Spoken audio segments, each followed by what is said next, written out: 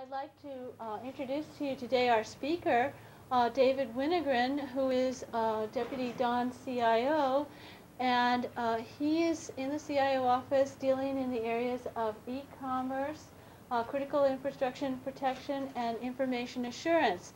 And um, he really knows lots about policy and what some of the Navy problems are and where the Navy's going and problems that the Navy is thinking about. And he's going to give us a, an overview of what's going on in the Don office in those areas. All right. Well, good afternoon. It's great to be here. I have the coolest seat in the house because there's like actually breeze blowing through here. So. Close one of Oh no, please don't. I was gonna say, you know, as, as you get farther up the rows, you like you begin to die from heat. So if you want to come down, it is cooler down here. It's great to be here. I understand we have like about 50 minutes together, so I'm going to talk really fast and uh, kind of walk you through some different things that are going on. But uh, you should all feel free to like you know interrupt and ask questions, so we make sure that we use the time to your best advantage while I'm here. And if you see some things, uh, we won't possibly be able to cover all the things I had on the slides here over the course of, of our time together. So I was going to just like kind of whip through some of them just to like sort of pique your curiosity. And I thought I'd end up with talking a little bit about some ideas I had about things that you all might be interested in if you're not already committed to a research project or a thesis that might be some areas that are like fruit for, uh, for work. And, uh, and again, if you see anything that I talked about that you're interested in talking more about, then come see me afterwards and we can talk more. I'll also give you my email address and phone number and all that kind of stuff so you can follow up afterwards. I, uh, it's, it's great to be here. I think you're all doing great work. We had a great VTC the other, the other day about some of the research work that you're doing in wireless vulnerabilities, and that was really great. And uh, so keep at it. And uh, you know, there's a lot of help that we need. And so we're all glad you're out here working so hard. Um, I was on my way out to a conference. It was, I guess it was a couple months ago now. I was out in San Diego, and, uh, and I was flying out on the plane, and I was thinking to myself, I wonder what I'll talk about when I get out there, you know, how that goes. And so I had a couple hours before the plane landed, and I had to really think about it. So I was reading an issue of USA Today, and I thought, well, I'm going to go through this one issue of USA Today. I'm going to see how many stories I see in one issue of USA Today that are about how the internet has changed everything.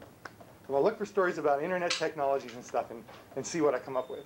And by the time the plane had landed a couple hours later, I'd found 15 stories in that one issue of USA Today that were about the internet. In just one day issue of USA Today, which is really kind of neat. And they spanned the gamut of things. They were, uh, you know, organic farmers using web technologies to display their wares to wholesalers so you could see the produce you were ordering. Uh, custom casket manufacturers that you can buy your custom coffin online.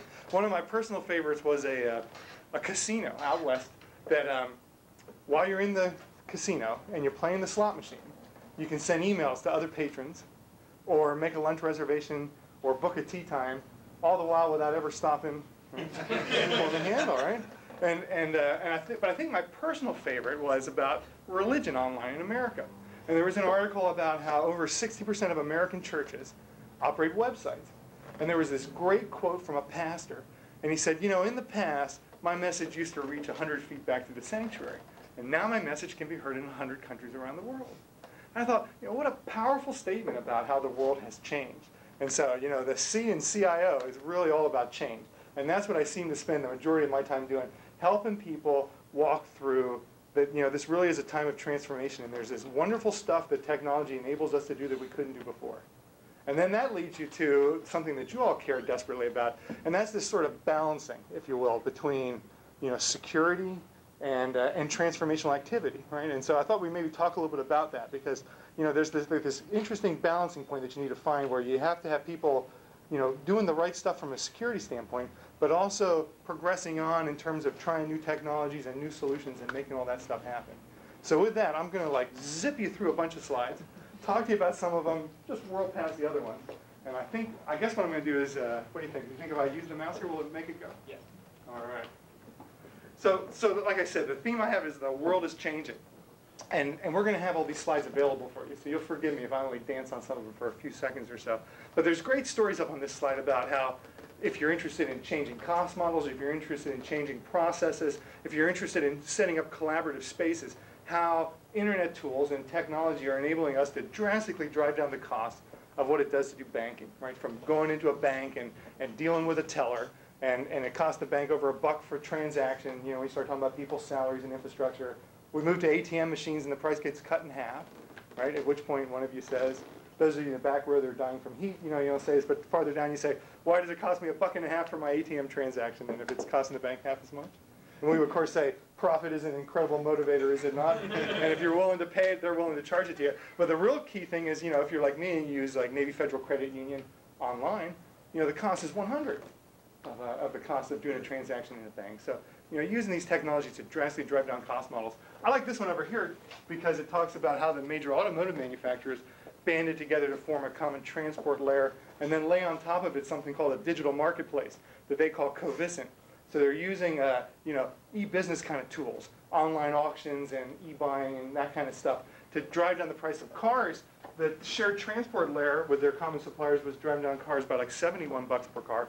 But the, the e-business stuff from Covisint is estimated to be another $300 per car, which isn't a lot if you're just buying one, but if you're making millions of them, right, it begins to make a difference. But the thing I like about this story so much is like for DOD audience, you know, if like Ford, GM, and Chrysler can band together for common good without giving away competitive advantage, there is hope for all of us as we work together on interoperable solutions in DOD.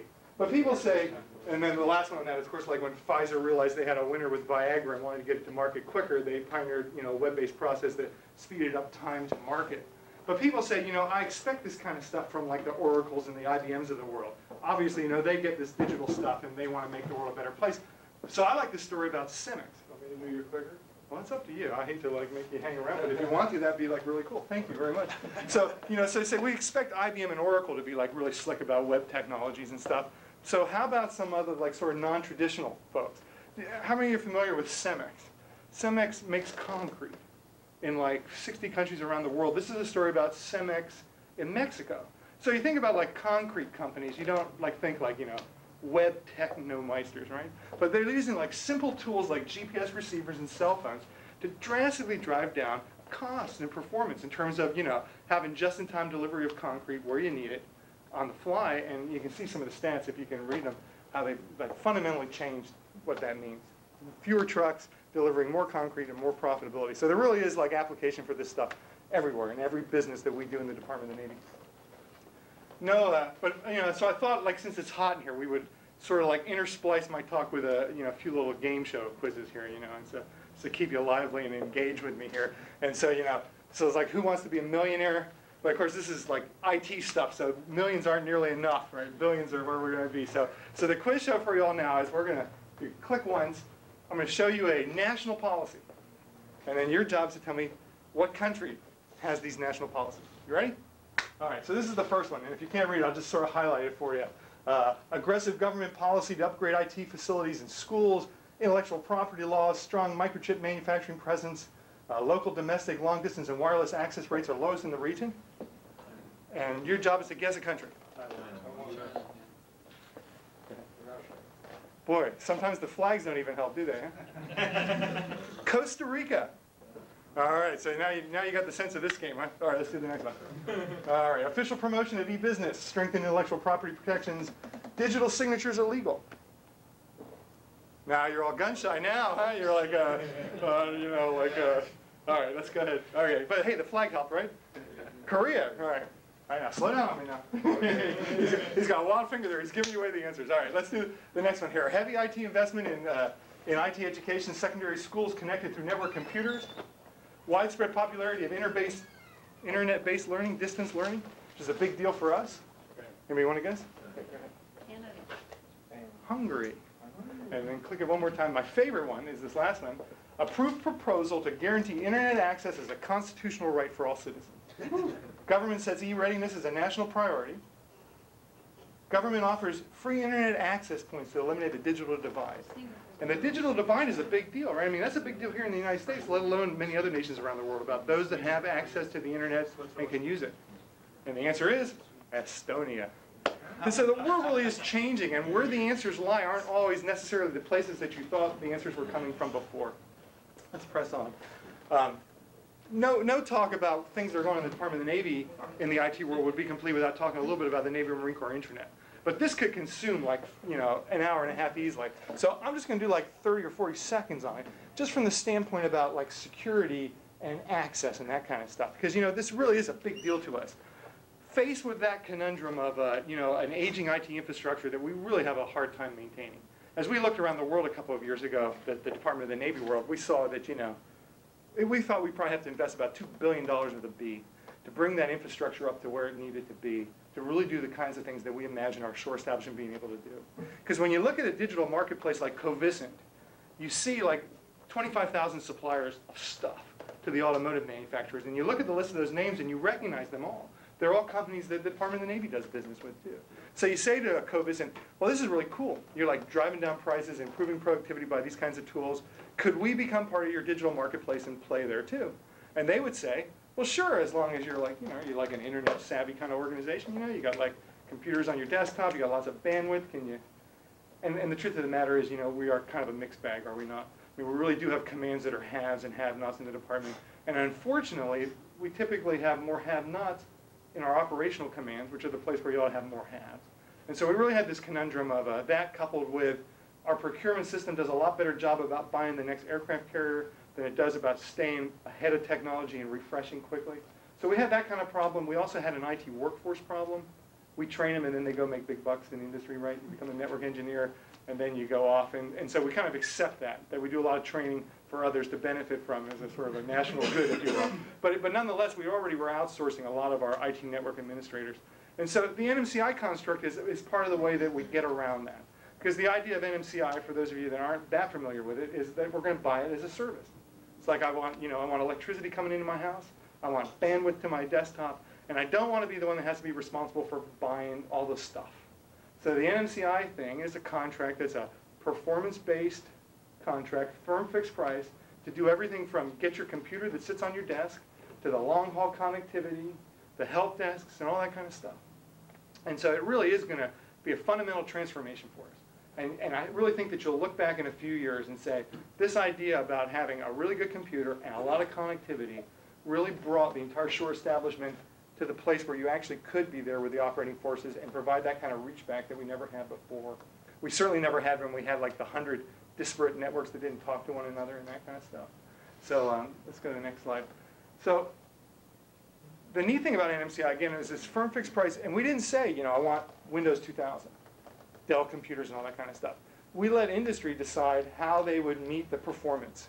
And the performance was like 37 service level agreements that did things like talk about security, your ability to thwart attacks on the network, latency, refresh rate. Over 50% of the incentive fees that the contractor can win are based upon satisfaction with the service as measured by the individual users. So the contractor team is heavily incentivized to provide you know, better, better, and better service as we go through the contract at a price for a seat, which a seat being you know, your computer set up at your desk, at a price for a seat that's fixed but goes down over the course of the eight years covered by the contract. These are the folks that, that are on the winning team.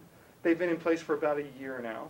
Um, the first increment of 40-some thousand seats has begun cutting over to, uh, you know, first thing they do, they come in, they see what you got, they take over your network as is, and then they eventually bring in their new equipment and get everything set up in the sort of to-be state. And so that's happening. Think the, uh, before I leave, uh, just to say the neat thing was, again, that we didn't say, you know, it was going to, had to be Windows. We didn't say it had to be Dell. We let them choose what would best work to provide us, you know, I don't want to see an hourglass. I really want to be able to do security business transactions and be able to send that PowerPoint file to my friends in the Marine Corps that live in the room next door to me in my building in Crystal City that I couldn't send to before because, you know, conflicting firewalls and all that kind of story. Um, next slide. I think this is a picture of the first sailor sending the first email on an NMCI workstation. You can uh, see that it's a Dell computer with a smart card in the reader, and we'll get back to smart cards in a, in a few minutes. Um, it's going to pay some tremendous dividends for us in terms of once people have this access, what they can then do with it. Um, next slide. There, it has like also um, shown some payoffs in recent times too. I think we have to click click once. You know, after September 11, we had about seven or 800 people that couldn't work in the Pentagon anymore because their spaces had been destroyed. And, uh, and the Army uh, did likewise, and, and, to a lesser extent the Air Force too. And uh, the NMCI contract really paid some dividends for us. And so I thought I would like kind of read you some quick stats here, you know, that I, that I took from, from when that happened. So right, the attacks took place on Tuesday. On Wednesday afternoon, we gave the uh, Information Strike Force team that's led by EDS, you know, that, that hey, hey, we need help we got 800 people who don't have computers anymore, they don't have offices and stuff, and we need to get them connectivity, we need to do it fast. By Thursday morning, there were nine 18-wheelers on the road from St. Louis, Missouri with Dell equipment on board to get delivered. During the course of the day on Wednesday, we found an office building in Crystal City that had just gotten emptied out because of a base closure action. And, uh, and so we were able to like cut a deal to lease that office space. The, uh, the, the 18-wheelers had 860 laptops, 335 desktops, uh, enough Cat5 cable to outfit five floors of office space, and Cisco routers came from another truck, and they all converged on Crystal City. Next slide, there they are, they're on the go, and then the next, next click. And so, of course, that's the same office like two and a half days later. The equipment had arrived by Friday, and uh, over the course of the weekend, the ISF strike force had, uh, had gone in, and of course, you know, the, the building had been gutted. So they had to like string the wires again in the, in the walls. The computers had been shipped emergency ships, so they didn't have the gold disk software. But over the course of that weekend, they got all that stuff taken care of. And on Monday morning, we had those 800 people up and running. You know, the Army, and this isn't like a bust on the Army, but uh, just as an example, I mean, they were still struggling days later because they didn't have this kind of vehicle, right? So they had to go, like, go buy computers and go set up arrangements for phone service and go set up, right, all the kinds of things that having this single integrated team working on for us paid dividends for us. So if my, if my boss, Dan Porter, the CIO, was here, he would tell you that he awoke one night in a cold sweat about a year ago and, and had, a, had a nightmare about NMCI. And so I said to him, well, so what was the problem, you know, because this is different, right? It's a multi-billion dollar service contract, which makes people really ponder, because they think service contract cut the grass, not service contracts for IT for 400,000 people, right? And so there was a lot of, a lot of um, interest, shall we say, on the part of members of Congress and the Office of Management Budget and otherwise. And so I said to Dan, well, what happened? Did like uh, you have a nightmare that Congress put restrictive legislation in place that kept us from doing NMCI? And he's like, no, no, no. Actually, quite the contrary. You know, we got the approval to award the contract, which we did a year ago, October, and uh, and it was like months later, and I was down at Patuxent River, Maryland, which is one of the first sites going to cut over to the new NMCI configuration. And I was standing behind a user as they were going to turn on their computer that first day. And do you know what I saw? The same thing I saw the day before. Nothing had changed. I mean, it all looked the same. And I was absolutely horrified, which is sort of like, you know, which is like sort of an interesting point to make, what NMCI is and what it's not. What it is is this sort of superhighway system, right? You know, like to use a DC example, I used to have to travel down Route 1, lots of stoplights and stuff, and now I just built Interstate 95. But if you don't have a bunch of cool cars to like drive over that highway system, then you really haven't solved the problem, right? So you would imagine that when you have in place this new infrastructure, you have to at the same time be putting together like the applications and the products and the tools that allow people to do a bunch of neat stuff that they didn't do before. So he said, you know, well, the first thing I do is I could send Wennergren down there. He could go explain to them that like what NMCI is about is about access and interoperability and a common security architecture and all those good important things. But you know, you as a user were kind of like glazing over a few minutes ago, right? Because you're just kind of more interested in what I, can I do present company excluded, because of course you all care a lot about security, but, uh, but you know, and, and it really is true though. It's about like, what can I do, what can I launch, and where can I go? And so that's why I thought it was important to talk for a couple minutes about knowledge management, this idea about setting up collaborative environments, and giving each of you access to the authoritative data sources that you need to do your job. And so there's lots of interesting stuff going on in the world. You know, we have things like the knowledge wall that the folks at the War College created and, and prototyped on the Coronado that bring to bear all of the sort of powers from shore to give you intel, to give you weather, to give you all these kinds of things while you're out and deployed. A lot of you probably know all about the collaboration of C tools, where the Carrier Battle Group use simple tools, again, chat rooms and those kinds of things, spreadsheets, but, but we're able to create, you know, the beginnings of common operating environments where all the watch officers could see information at the same time and work together using the same voice, video, images, that kind of stuff and, and really sort of have that exchange of information going on all the time rather than just during the changeover of the watches. Next slide. The distance support portal at NAVSEA is this idea about things like telemaintenance. So you're on the carrier in the Pacific Ocean, and you're a maintenance technician, and you're looking at the part for the airplane, and what did you have for support in the past? You know, you had your supervisor, you had the tech manuals and that kind of stuff, but with the tele maintenance portal, you can reach back to Crane, Indiana, and actually talk to the engineer who designed that part. So there's this colla incredible collaboration that can take place. You know, whiteboard, voice, video data, sharing, and now you've got the, sort of the power of all this technical expertise that lives thousands of miles away and you're not alone anymore. Uh, the surgeon on the aircraft carrier can reach back to the National Naval Medical Center Bethesda and do telemedicine. These are all like powerful tools to do distance learning. right? So, so part of this coupling with a good infrastructure ashore is this ability to tie applications and experts to the folks who are deployed. E-business is really important to us. I have like a, some things I'm going to leave with the, with the gang here that I was going to ask you as you get a chance to try to take a look at for me. Some things I was going to ask you if you could like, uh, you know, put your intellectual powers to and give us some advice on how we can make them better. Uh, we have an e-business strategic plan that focuses on transformation. The big thing that's happening in the e-business world right now is you got like paper processes and you're going to change it. right? So you're going to use technology to make it better. But lots of times what we do is we fall into that, that problem of, you know, we just take the process we had and we electronify it.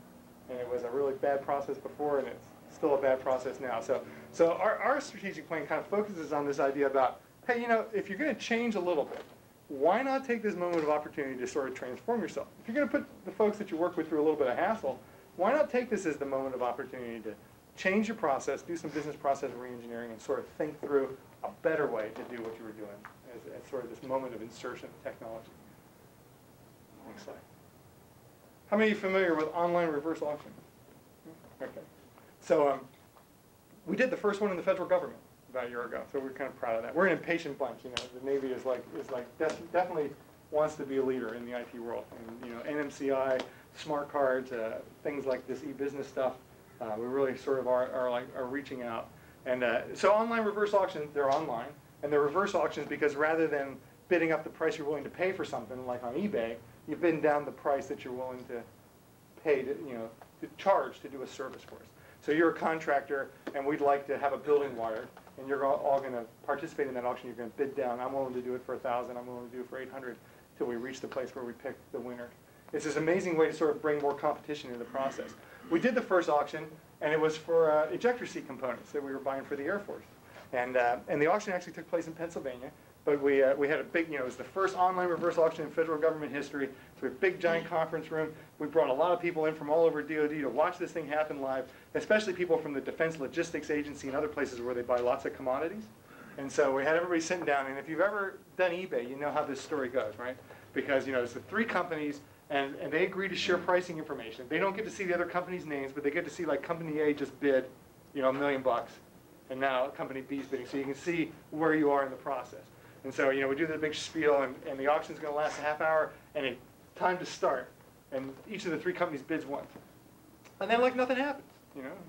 And so the, the poor guy is, like, up there, like, talking about this stuff, you know. He's got 150 people in the room, and he's like, well, auctions are really important. They're going to save us money and this kind of stuff. And, well, that took, like, 30 seconds, right? But, you know, this is, like, five minutes, 10 minutes, 15 minutes. And like you see in this picture, you can actually watch the auction take place, right? But, like, nothing's happening. I got to tell you, standing in front of 150 people for 25 minutes while nothing's happening is a really long, long time.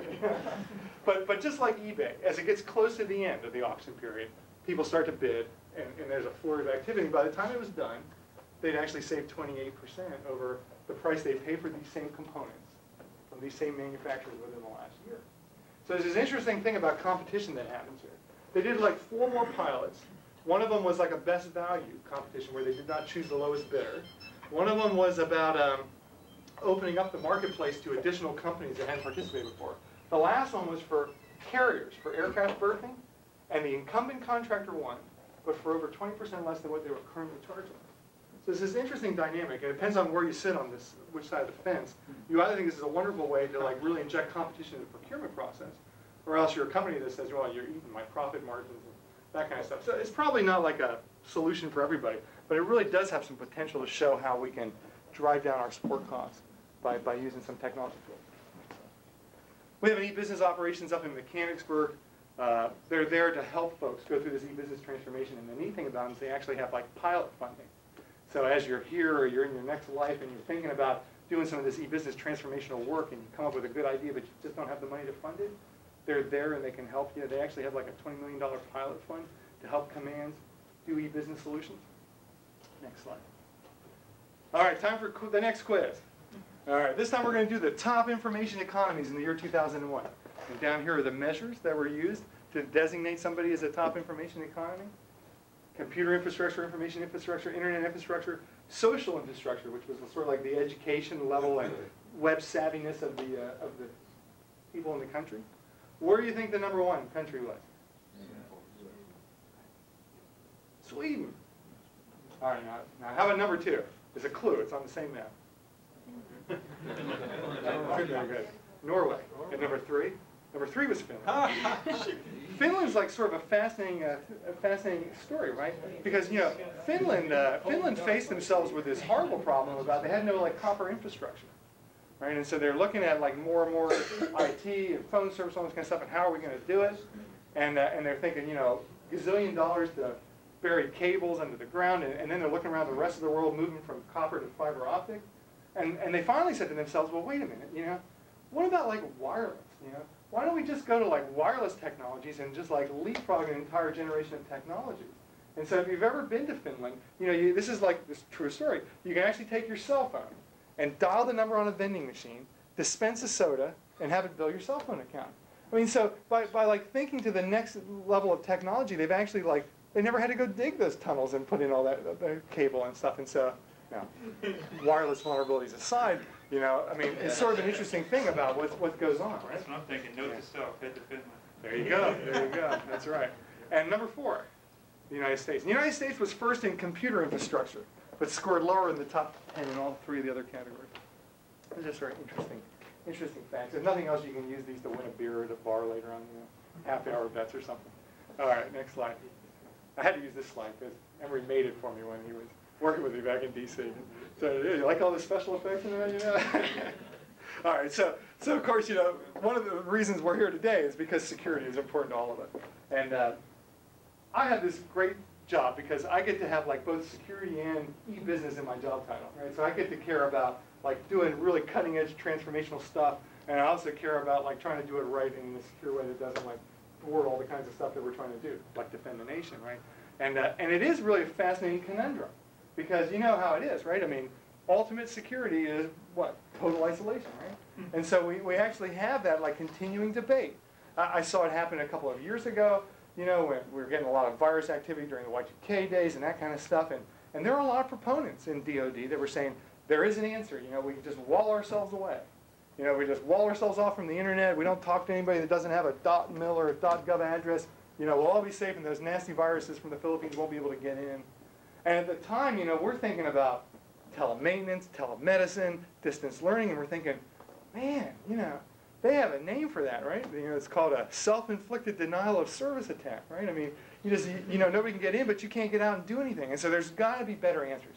There's got to be ways to make sure that we fully consider security, but at the same time allow ourselves to take advantage of these new technologies in a sane way.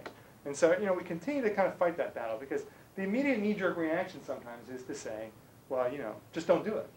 Just don't do it, rather than here are the vulnerabilities. Now, how do we start to address those vulnerabilities so we can take advantage of them? Right? I will foot stomp that story a couple times. We're talking about wireless because, and, and this is no bust on the wireless work you guys are doing out here because I think it's really great. But it reminds me of a, you know, in the Pentagon. You know, oh my gosh, wireless security vulnerabilities. What are we going to do? And the immediate thing is we're writing a memo that says we'll have a moratorium on no new wireless devices in the Pentagon. Now that sentence was important because I said, no new wireless devices in the Pentagon. So like, you know, so I'm okay because I got mine last week, but you can't have one next week when you come. And they're like, well, well wait a minute. I'm not sure I understand this because it's either, it's either bad to have this or not. You know, it's not just bad for you to have it, but not me. And, and those kinds of things. But sometimes we make like those sort of knee-jerk responses that we have to deal with. I, uh, uh, like I said, I, perhaps I put some too long on that, but, but there's a reason for that. Because there are things out there that allow us to do things more securely while not thwarting its ability to do business. And that's why PKI is so important to us. And so, of course, you're all like PKI zealots, so, you know, so that's good, right? Because usually when I talk to a crowd like this, I say, how many of you are familiar with PKI? And a few of them raise their hands. And then I tell everybody else in the room, see who they are? Remember their faces, and after this is over, take them to a bar, buy them a beer, and make them tell you about this because it's really boring, dry stuff about you know prime numbers and mathematical equations. And uh, but that's not true for all of us because we know about the fascinating stuff that goes on in a PKI world, right? PKI really is crucial for us because if you think about it, that ability to prove beyond a shadow of a doubt that it really is Dave Wennergren that sent you the email, or that I can encrypt the information I send you so it doesn't really matter whose phone lines it travels over, or the fact that I can sign a contract and, and through hashing and that kind of stuff, you can prove that I signed it and that nobody has touched that document since I signed it. are really like the only way that you could ever do e-business, right? I mean, because if you can't like guarantee those kinds of things, then you're just like, you know, it's like you said, go to Finland, make a million bucks, right? And so, so PKI is really important to us, and, and of course, next slide. You know, the, the challenge that we had was in the beginning, people wanted to give you all software diskettes, right? We're gonna have software certificates on diskettes, and you can just imagine what that would have been like, you know. I got like 800,000 people to worry about in the Department of the Navy. You know, there's like three and a half million users that we're gonna get these things across all DoD. You know, number one, software certificates aren't nearly as secure, right? 'Cause Emory has trained me well, you know, the private key materials living on my computer hard drive, and it's easy enough to hack in and get it, right? And so I don't really want it on my hard drive. But also, can you imagine the logistics of passing out four million diskettes? You know, and, and knowing that this one's mine, this one's yours, and, and all that kind of stuff. Fortunately for us, there was something that we do very well in DoD, right? And that is like badges, right? Mm-hmm. We do badges so well. I got a couple of them here on me. I think you know, we got like a badge for this and a badge for that, and a badge get in the gym in the Pentagon, right? We know how to issue badges, and that, of course, is a form factor that you can use for PKI too. Hence, a lot of enthusiasm for smart card technology, because the chip on the smart card gives you that ability to store those digital credentials in a form that's easy to like give out to folks. We make you all get a military ID card, right?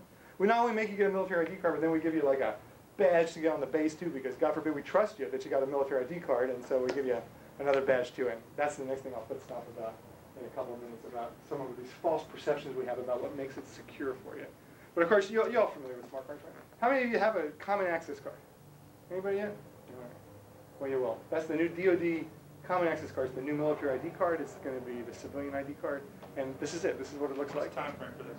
They, uh, they're rolling out now. We've given out uh, over 80,000 common access cards in DoD, 70,000 of them to Department of the Navy folks, because we imagine this as part of NMCI for you. You saw the screen. I mean, you know, we want you to have a smart card with digital certificates that you use to get on your computer, and then use the certificates to sign emails, go to secure websites, and that kind of stuff.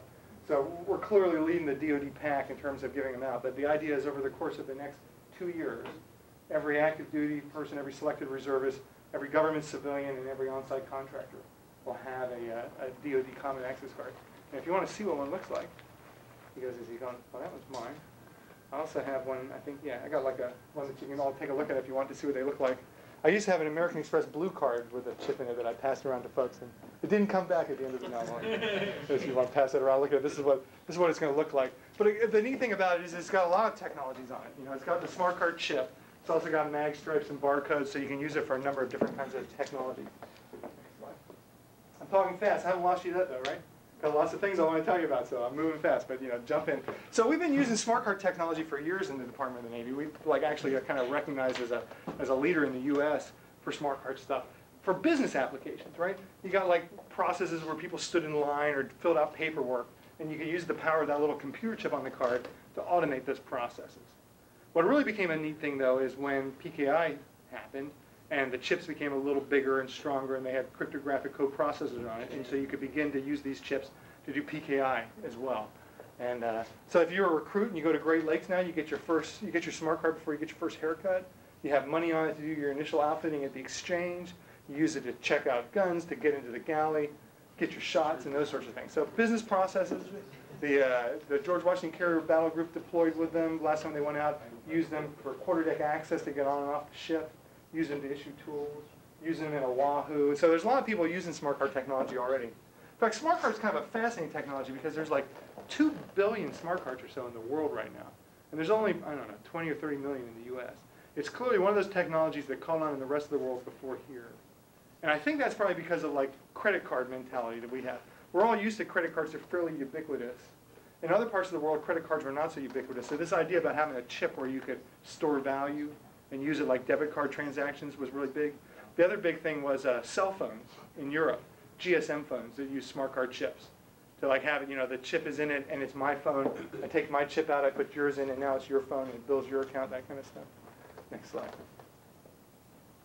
The problem with smart cards was in the beginning, people had this idea about you're going to put lots of stuff on that chip. I'm going to put your shot records on that.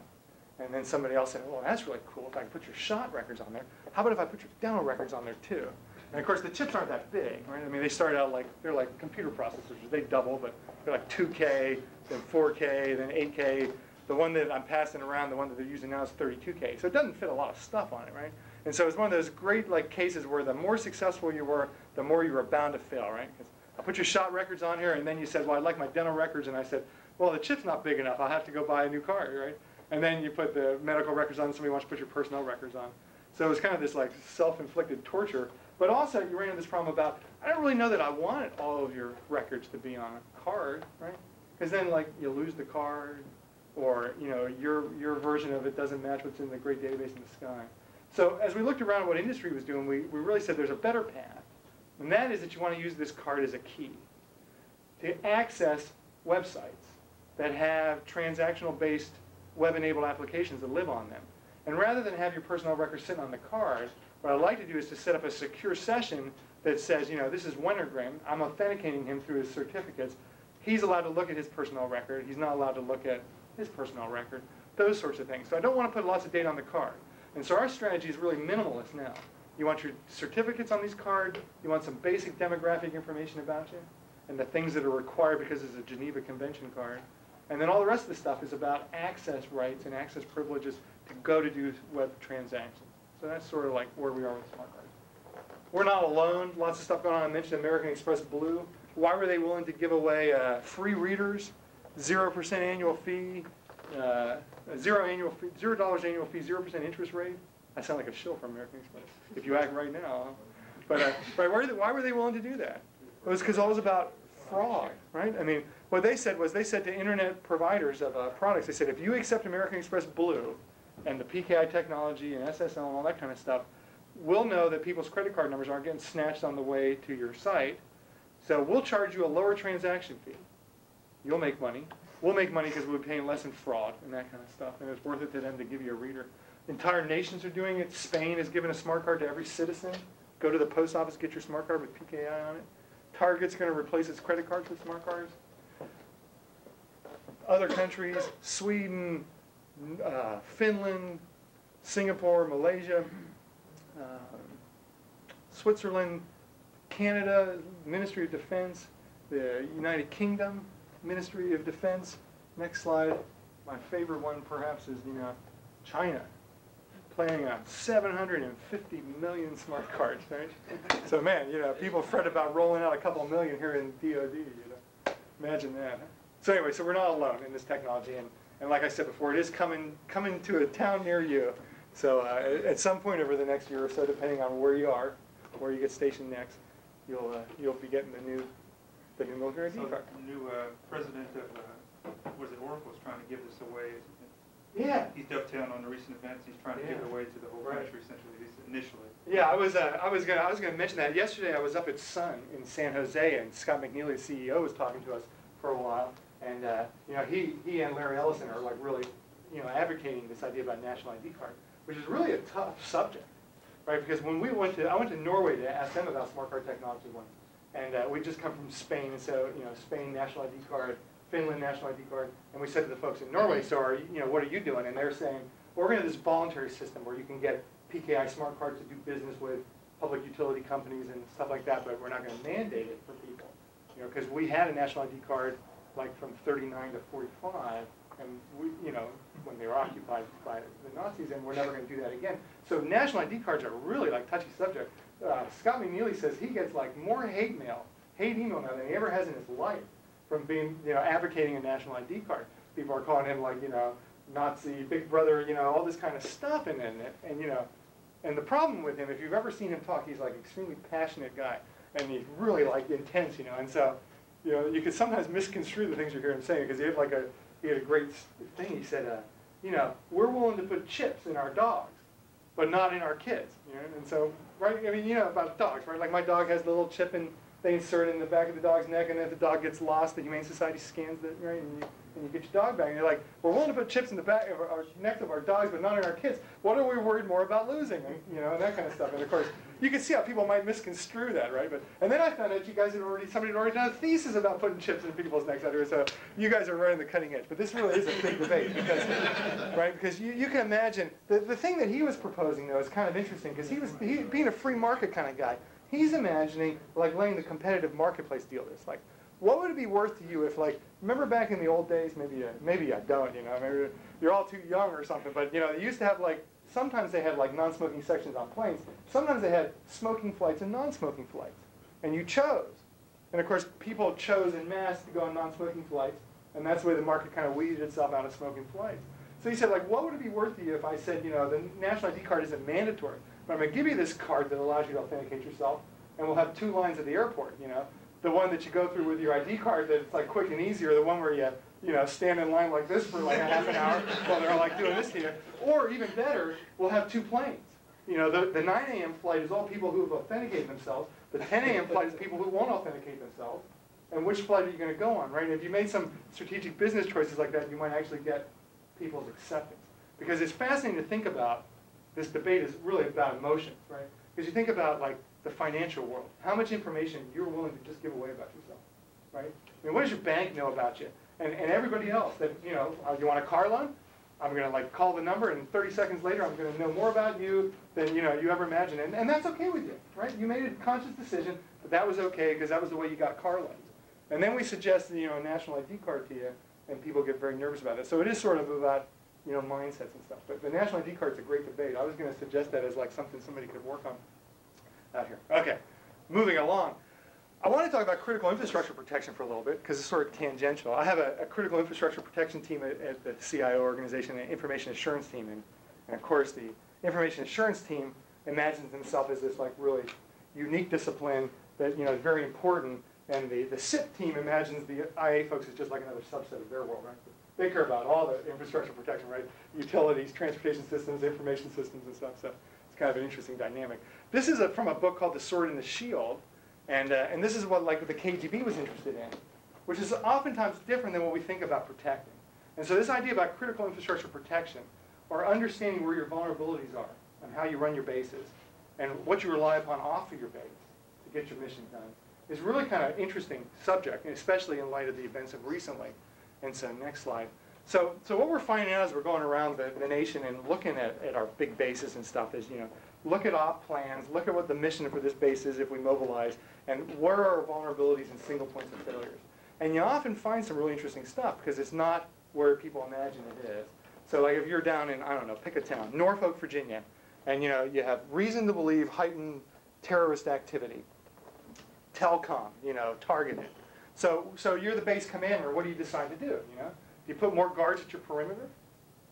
Well, you might, unless you realize that you know the single point of failure for telecom is not on your base, and it's not at Langley, and it's not at Fort Eustis. It's down someplace in downtown Norfolk, where both the bless their hearts, the people who set up the primary switch network and the people that set up the redundant path didn't talk to each other, and they both ended up in the same building. And so, you know, if you knew about this, you could just blow up that building, right? And so all the guards back there, the sub-peers wouldn't have done anything to protect against that problem. But if you know about that, right, if, you're, if, you're, if there's a bridge, it's a, I'm telling you like true stories, but I'm changing the names of the locations, right? If you, there's a bridge that 100 trucks are supposed to drive over every day if we mobilize to offload ordnance, and the bridge is outside of the view of the gate. And so if you know, if you think through that kind of stuff, then maybe you put like a camera on the bridge, because the bridge is also where the water and the electricity and the phone lines all come in too. Maybe if we mobilize, you know, you put guards out there to guard the bridge. If you understand where these vulnerabilities are, then you can begin to do stuff about it. We have a great dependence upon the private sector. Weapon system support is like almost completely non-organic now for a lot of our weapon systems. And so you as the program manager for a certain missile system think you got everything under control, but you're not talking to the other nine missile systems that we have and realizing that all these things come together in one manufacturing plant or, or one shipping point. And so if you can understand that kind of stuff, you can really do something about it. One of the tools that I was going to ask some folks if they're interested in to look at is a self-assessment tool that we put together. With the idea being that, you know, if you're in a big region, we send out teams of folks to look at force protection, anti-terrorism, and, and all that kind of stuff. But if you're in like Crane, Indiana, or Millington, Tennessee, or someplace, you know, you're not going to get this big team for a long time. So if you had a tool that lets you assess this stuff for yourself, then you know you can sort of be a step ahead of the game. So with all these tools, I'm really interested in some feedback about what we could do to make them better. All right, next slide. Let's go down the home stretch here because I want to like uh, kind of finish up with a couple of ideas for you. Um, hey, one last quiz. We're going to move from countries to cities now. So you get one last quiz and then you're off the hook for the last few minutes of our talk together. So these are like the recognized intellectual capitals. No pun intended. They're not all capital cities. That'll be my first clue for you. And your job is to try to guess where do you think the uh, intellectual capital for venture capital is in the world right now? New York City? Cambridge, Massachusetts? Cambridge, UK. Next Generation Wireless, you know where this one is. Come on. Okay, all right, all right. they remembered, all right, that's great. Smart cards. Montrouge, France. Almost every major manufacturer of smart cards is headquartered in France. Which like makes people like from NSA crazy, you know? They're like, oh man, you know, there are foreigners making our smart cards and stuff. But uh, but but that's sort of the beauty of like picking like industry standard interoperable solutions. Because I mean, we're using like the same kind of security structure that like all the banks are using and, and are happy with and stuff. And so, you know, where the plastic's made isn't maybe necessarily a big deal. Interactive television is Milan, Italy. Biotech, Munich, Germany. And encryption, Belgium. They're all, they're all in Europe. So again, it's sort of like an interesting thing about where the power of change is happening around the world. Next, next slide.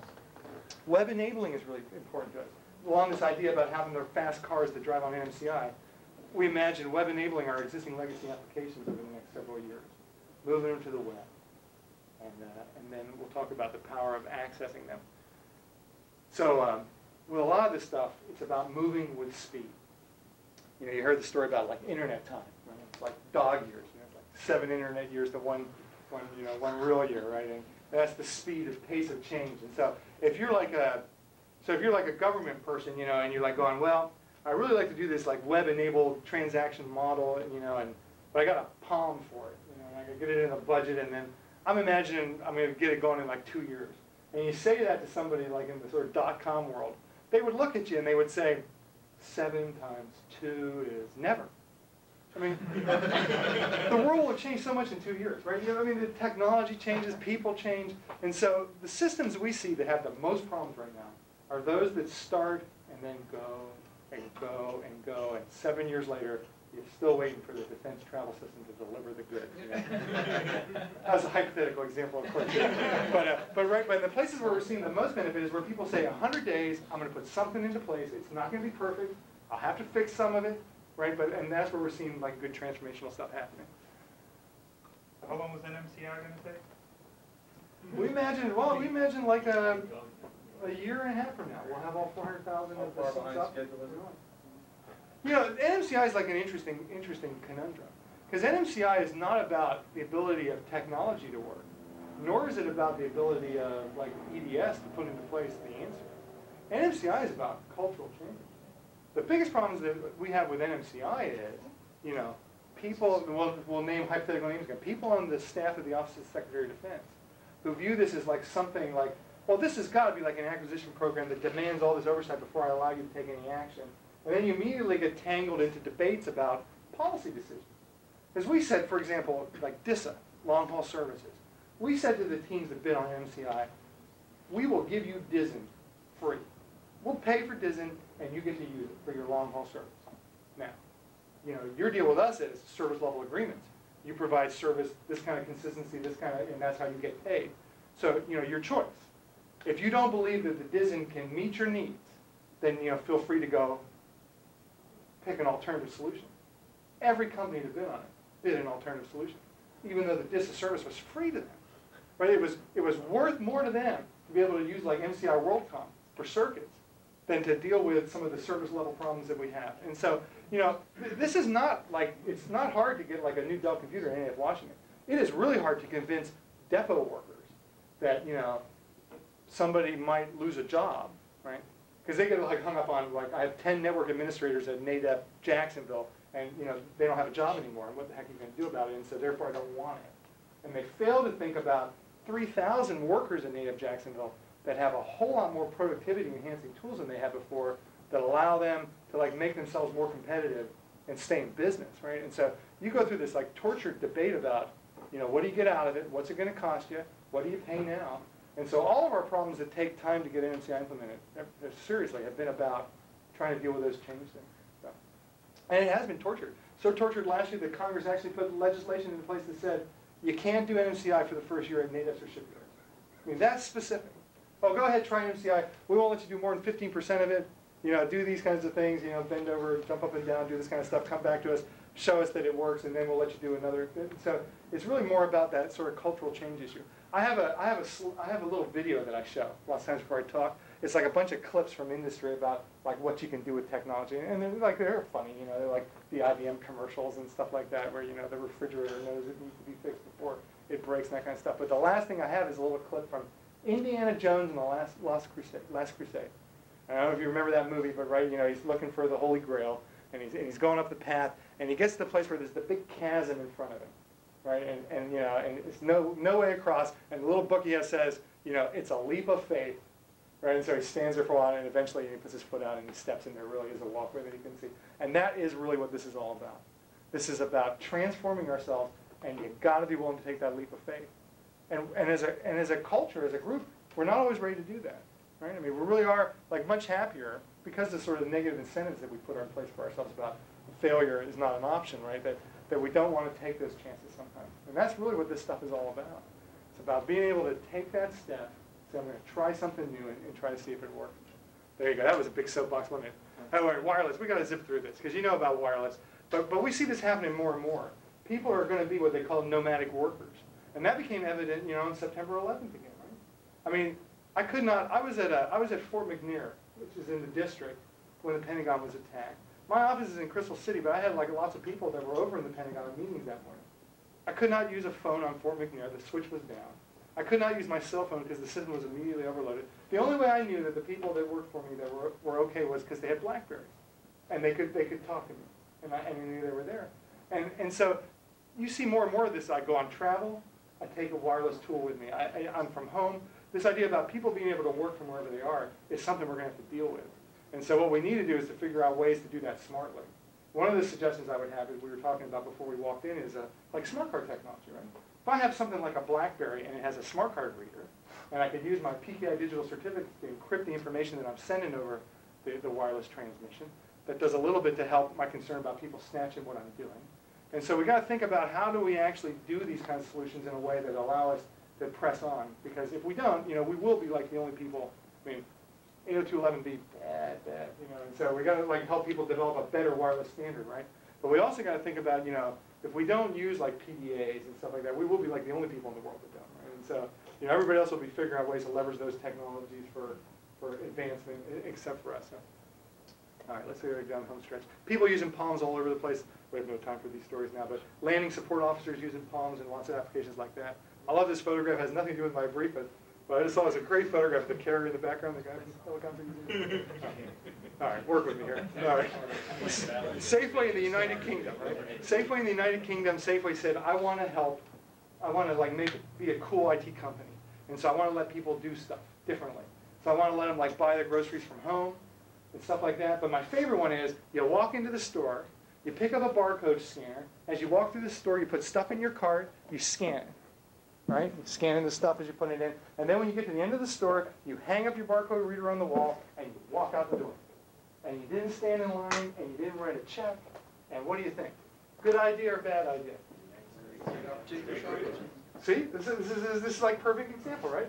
Some people say great idea, some people say bad idea, right? And what it really is about, it's about a change in trust model, isn't it? Because Safeway said to themselves, this is worth it to me to have thousands of customers, you know, be able to, to have something that was more convenient and better for them, right? And, and I would risk like having people shoplift, right? If you think about any sector of the retail market that cannot afford loss, it's the grocery store business, right? They cannot afford shrinkage. I mean, because the markup rate on grocery products is so little. You just can't afford to have stuff walking out the door in a grocery business. But yet they were willing to make that change in trust models. And that is kind of like a fascinating thing that we all have to walk ourselves through. All right, let's get to the end of this so I can tell you like one last story. So imagine an enterprise portal. It's good to tell you this just for a second because I want to talk a little bit about work. When you come on NMCI, you have a portal that has web-enabled applications hanging behind it, right?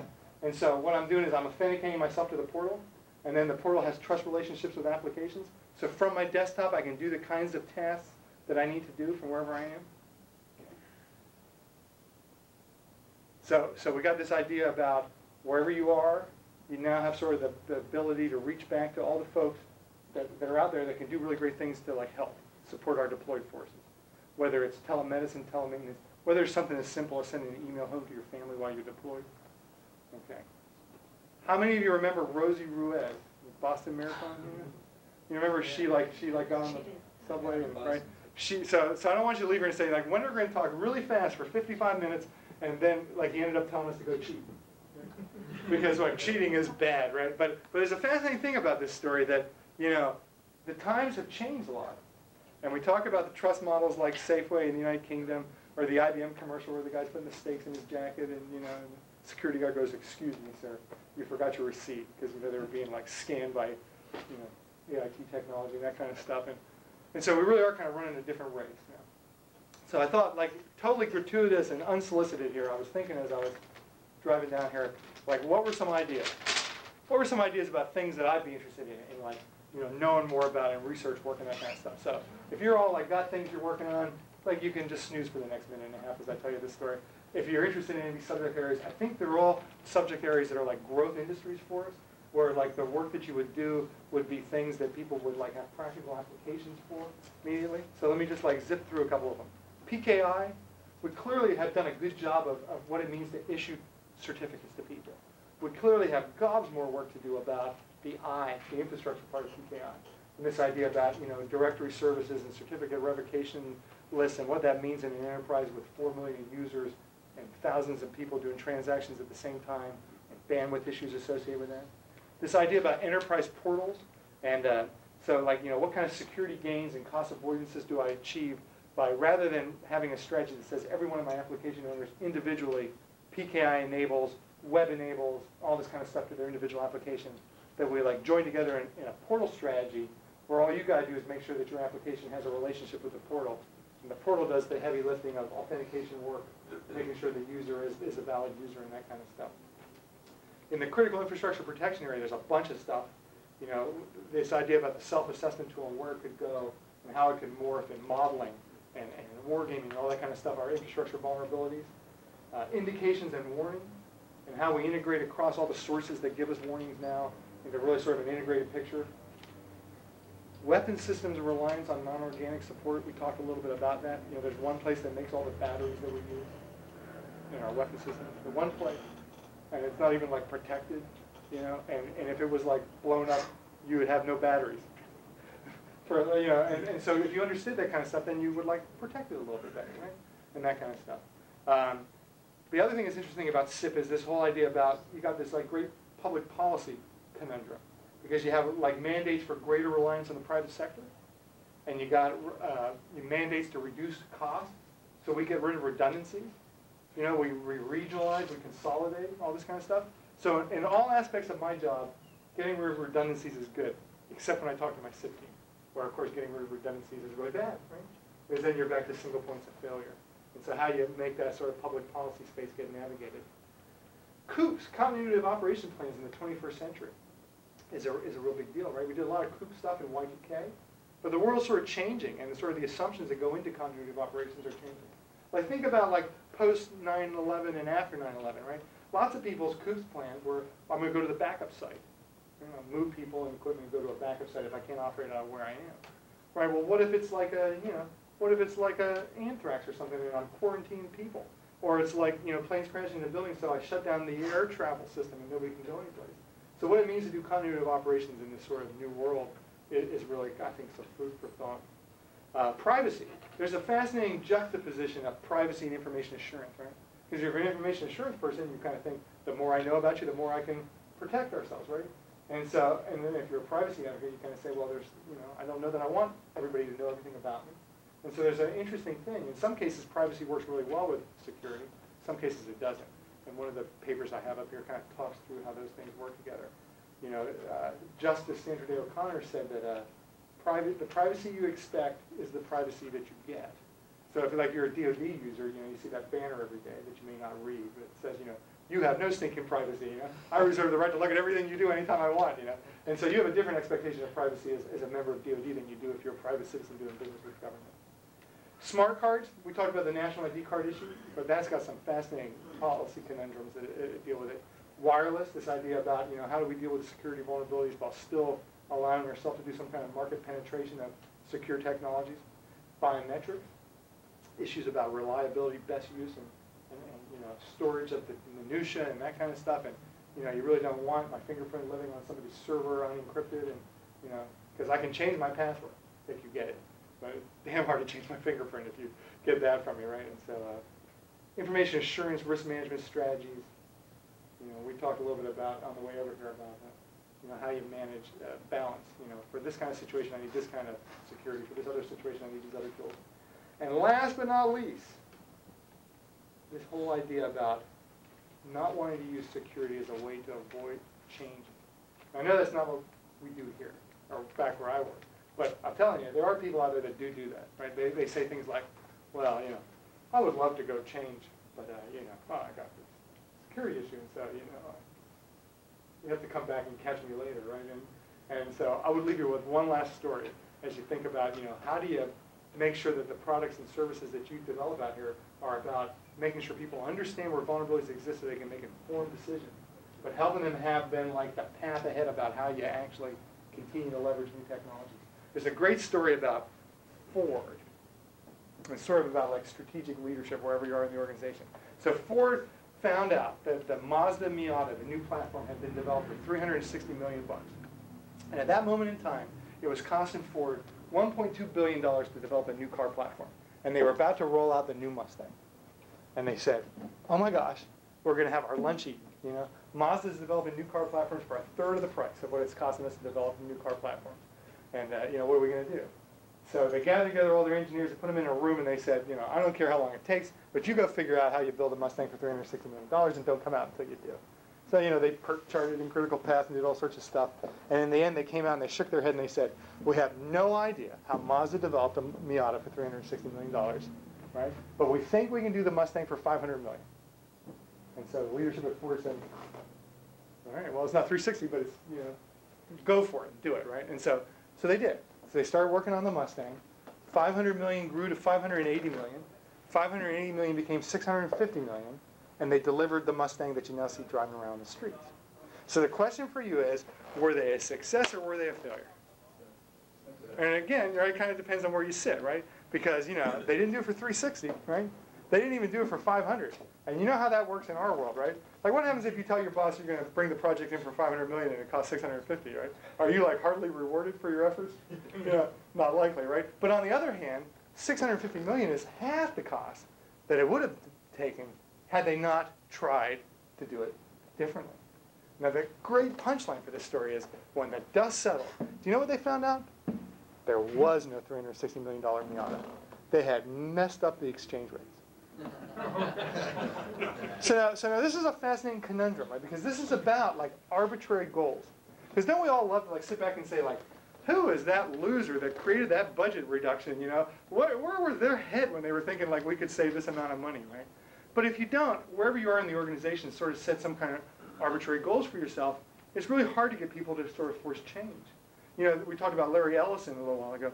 You know, Larry Ellison looked around at Oracle one day. He woke up in the morning, he was taking a shower, and he said, you know, we spend too much on overhead. We need to reduce our overhead by a billion dollars. Now, when he made that decision, do you think he had any economists in the bathroom there with him? or do you think he just kind of pulled that number out of his, uh, his pocket or something, right? And so, and so he went to work that day and he said, you know, well, I'm the president of the company, and by gosh, I want you to all cut a billion dollars out of your overhead. Let's do it within two years. And the company worked really hard, and nine months later, they had done it. And of course, you know what he said then, right? Do another billion, right? So I would suggest to you, wherever you are, whatever you're responsible for, sometimes you got to sort of like set some kind of target for yourself and for your workforce and that kind of stuff, or it's really hard to get people to take that first step. So, there you go. So is there anything I should have covered that I didn't? Anything that you're interested in that I didn't? Or I talked so fast you have no clue what I said? Anything else that we should have talked about while you're all here together? Are you gonna stay behind? Sure, I'll, I'll stay behind if you want, yeah. Because on that note, we can all escape. I am the only thing standing between all of you and happy hour, right, or something like that? No, no, no. no. Thesis work, okay, yeah. All right. No, tonight's a trick or treating. All right. Well, well, enjoy the rest of your time here. And like I said, if we go to the last slide I have, um, if you could just take one more thing. This is how you find me again. This is our DON website, you- you- and this is how you find me again. My phone number and my email address. So if there's anything that you're interested in doing more, you'd like to talk about more, then, you know, feel